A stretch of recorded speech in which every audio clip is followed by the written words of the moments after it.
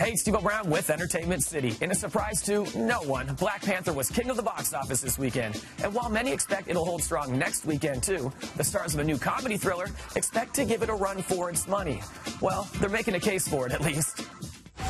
Tonight, we're taking game night up a notch. We don't need a board and we do not need pieces. There's a lot of stuff in this movie. I feel like it is the ultimate movie, way beyond all these superhero movies. Because Yeah, you know, we explore boundaries that, that superhero movies can't explore. Mm-hmm. You understand? Super- such as such as games, such as desire, such as romance, Why you gotta make my idea sound stupid? thanks, such, such as as action. Well, they got action. They got action. But Game Night really does have plenty of action, too.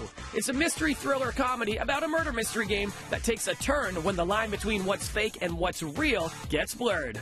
Max is very competitive, as am I. It's one of the reasons I fell in love with him. love you and Rachel like a lot together in this. It really worked for me. There's something easy about this long-term relationship that we're allowed in on watching Yeah. game night. How did you guys find that? She's just, you know, she's the, one of the nicest people you'll ever meet. Well, she's Canadian, okay?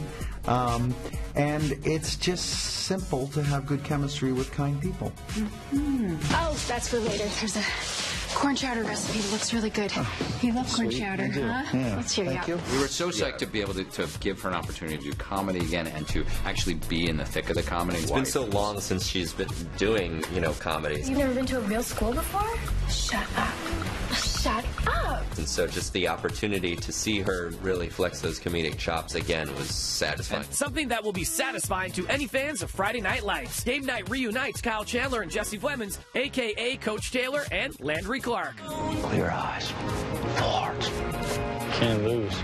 Did you like clear eyes, full hearts can't lose each other? Like, do you say that to each other? Please tell me you do. We say it with our eyes. Yeah. A lot. We have the secret handshake, obviously. We're not going to show you that. So often we don't appreciate what we have until it's gone.